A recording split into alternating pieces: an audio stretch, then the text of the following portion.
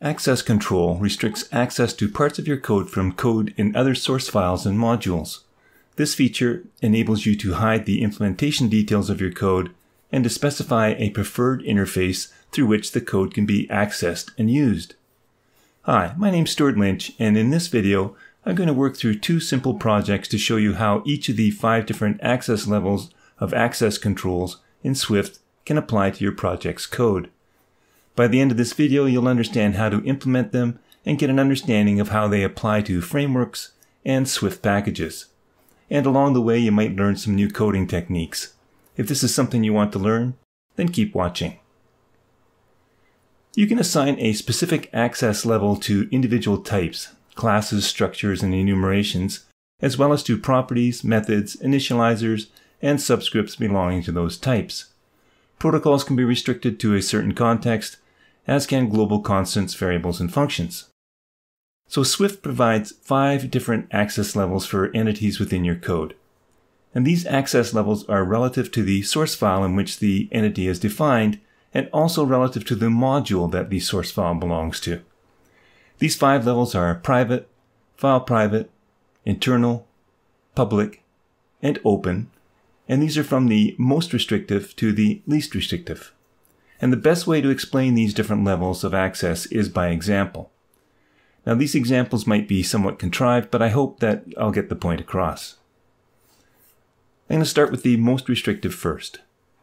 So consider this simple SwiftUI project. You can download the starter project from the link in the notes below. And even if you don't have any experience with SwiftUI, that shouldn't stop you from understanding the concept I'm covering here. There is one class called person and it has a single property called ID with a default string assigned as secret ID. When the application launches, this view appears, and it creates an instance of the person class and displays the ID on the screen. It does this in the SwiftUI way by changing the value of the ID variable, which in turn refreshes the screen. And that's all you really need to know about SwiftUI for this video. Access to the ID property of person is the default access level for an application, and that's internal. Internal classes and members can be accessed anywhere from within the same module that they are defined. And you typically use internal access when defining an app or a framework's internal structure. Since it is the default access level, we don't have to specify that for our property. If we want to exclude access, we can mark the property as private. Now this causes an error in our code, but it does ensure that the ID can't be modified. The private access restricts the use of an entity to the enclosing declaration and to extensions of that declaration that are in the same file. And you typically use a private access to hide the implementation details of a specific piece of functionality whose details are used only within a single declaration.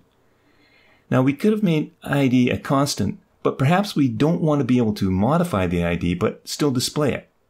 And one way to do this is to create a function in your class that will be available internally and will simply return the value of the ID. So we can create this function called displayID that simply returns the ID. And because displayID is within the declaration, it does have access. So now we can update our onAppear function to call the displayID function.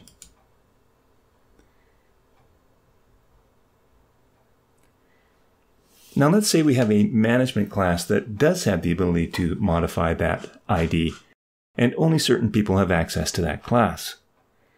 what we can do is create that class inside the same file as our person class. Now inside that class, I'm going to create a static function called updateID that will change the ID for a person. So it'll take two parameters, the person and a string with the new ID. Now, ID is still private, and our update ID function is not within the person declaration, so it doesn't have access to it any more than our content view did.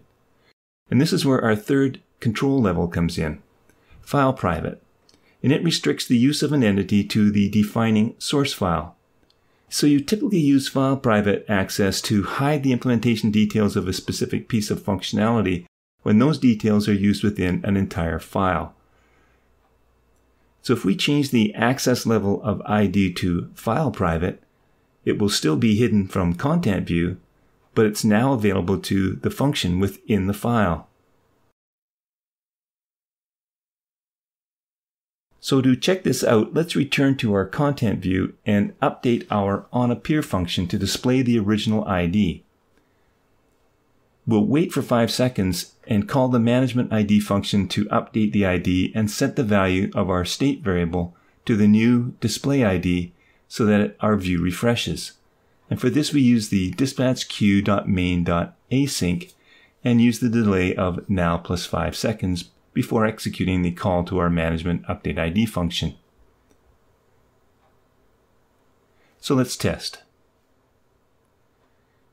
After launching, we see our original ID, and after 5 seconds, the ID changes. So we've covered the first three of our access control types, internal, private, and file private.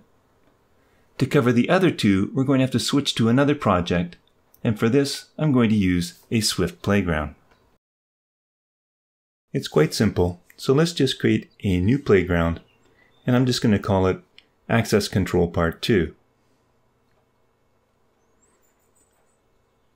Now inside that playground I'm going to create a struct called product and it has two constant properties, name as a string and price a double. Within that same file, but outside of the product struct, I'll create a class called purchases that has one property and one function. The property is an array of empty product. The function we'll call calculate price that's going to return a double representing the sum of all of our product prices. And for this, we can use the higher order reduce function on our collection of products. Now, if you don't understand this function, I recommend you check out my video on that where I go over this and much more detail. This takes all of the prices and reduces it to the sum. So we can create a new customer that is an instance of purchases and add some products to the products array. So we'll add a Mac Pro at 5,999 Canadian and a Pro display that goes for 4,999. Now we can create an instance method, calculate price, to get our total price. There's nothing really new here. All the properties and functions are internal and thus available to us in this playground. Now, as you become more experienced in your software development careers, you'll start to work with other developers and utilize packages and frameworks, and you'll learn how to create your own and this adds a new level of access control issues. If you're interested in creating Swift packages, take a look at my video on using Swift Package Manager. To simulate the use of frameworks, I'm going to create a new file in the sources folder of the playground. So let's reveal the structure and create that file, which I'll call my framework. Back showing the playground, I'm going to split the screen in two using Option click on the My Framework file so that it's showing on the right and my playground on the left. And now I'm going to cut out our struct and class and paste that into the My Frameworks file. Now, if I were doing this in a Xcode project, there would be no issue. But in a playground, creating a file in the sources folder is different.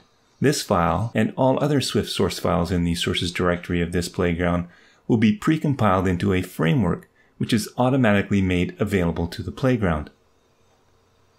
So as far as the playground is concerned, this is a different module. So we get some unresolved identifiers because by default, all structs and classes in a module are internal only. You can only, without modifying access control rights, see them if they are in the same module. So let's take a look at how we can rectify this situation and in the process gain a better understanding of access control. Now the first thing I'm going to do is comment out my playground and try to recreate it one step at a time.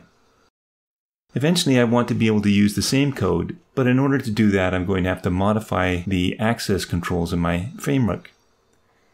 So if I start with let new customer equals, we see that purchase is not showing in code completion. It's simply not available. When using a framework, you need to open up access to other modules. And there are two different access controls that will do that open and public. Open and public enable entities to be used within any source file from their defining module and also in a source file from another module that imports the defining module. So this is where we are right now. These entities are internal, and in order to make them available to the playground, we need to make them open or public. So let's start with public. Since we're dealing with the purchases entity, let's make that public first.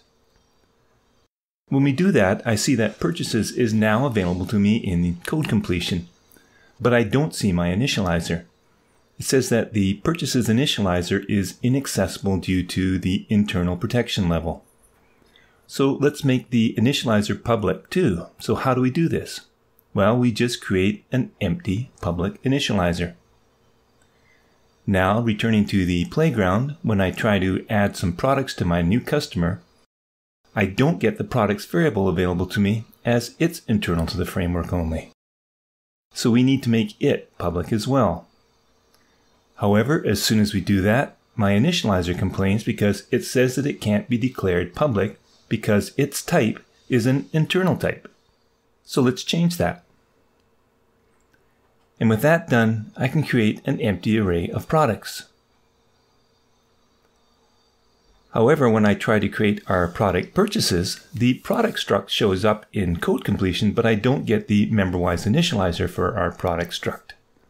The product initializer is inaccessible due to an internal protection level. So there's no initializer for our struct. It has a memberwise initializer, so what do we do? Well, we have to create one if we want to make our struct accessible from outside our framework.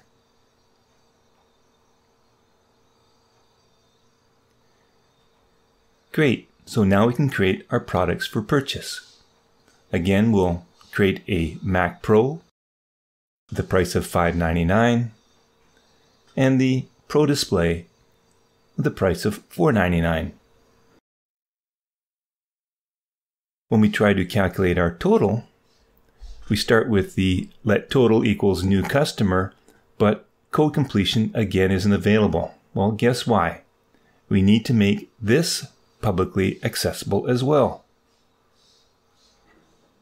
And now we can calculate our total price.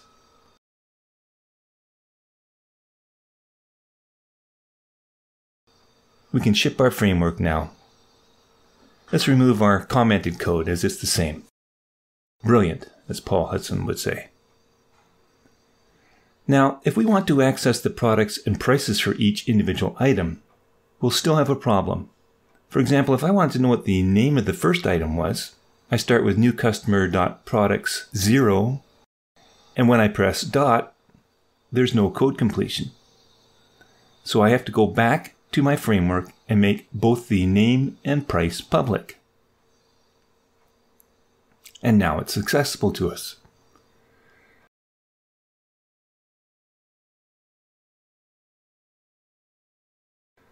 Now prices change all the time. So let's change the price variable to a var from a let. And Within our code in the playground, let's change the price of the Mac Pro, that's the product 0.price, to $1,000 and calculate a new price. Nice, I'll purchase. Well, the problem is that purchase has already been made, and in this company there is no backdating to get better prices. Once the purchase has been made, we want to disable the ability to change the price. So we can do that by assigning an access level of price to be private set. Now, if you're not familiar with this designation, which prevents the modification of a stored property from outside of a class or struct, take a look at this video. And in this video, I go through this and much more. Now, this may not be what you want though, as it prevents our playground from seeing the individual prices once purchased. And one way around this would be to create a computed property in the struct that is publicly accessible, and that will display the price. So now instead of displaying the price, which isn't available, we can display purchase price, and it's not modifiable as it's a computed property. Now just as a little bit of an aside, we can remove the initializer from the product struct and turn over the responsibility to creating the purchases to the purchase class. And we can do that by creating a function that will append to the products array.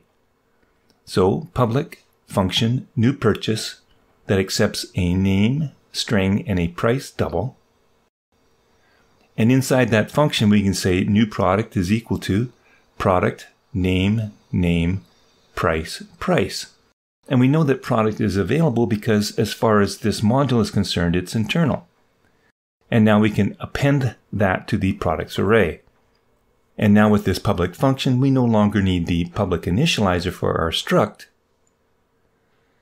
And back in our playground, we can just remove this code or comment it out for now and do new customer dot new purchase and pass in Mac Pro and a price of $5.99 and another one that will pass in Pro Display the price of $4.99. And it works just as before and is cleaner. Now, our store wants to cater to seniors by offering a discount to anyone over 55. And we don't want to change the framework. So this is going to be temporary, and we're going to allow the users of our API to create a new discount purchases class that will be a subclass of the purchases class on our playground.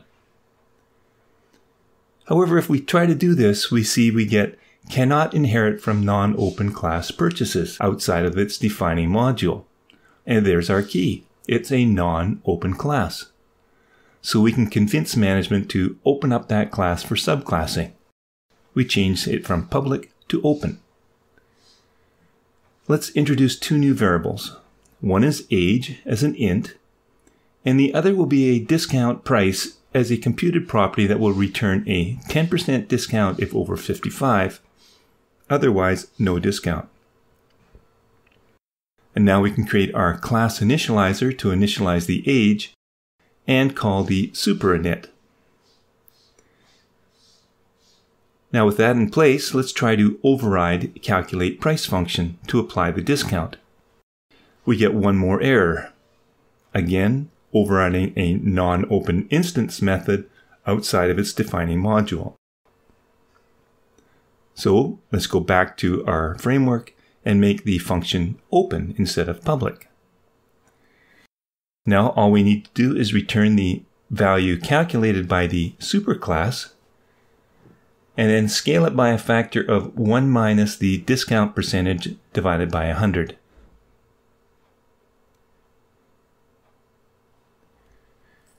Now our store clerk can use this new discount purchases class for all customers. They just need to ask for proof of age.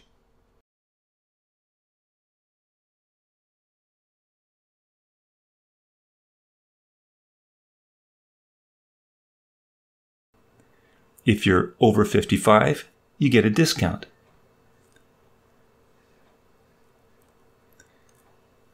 If you're 55 or younger, you don't. I have lots of other videos available and in the queue as well, so please check out the rest of my channel. You can also visit my website to see the apps that I have available on the App Store, and visit my GitHub page to see what I have available as public repositories. If you like what you've seen, give it a thumbs up and subscribe to my channel. And ring the bell to get notified when I post new videos. I'm most active on Twitter, so please follow me there as well to find out what else I'm up to. Thanks for watching.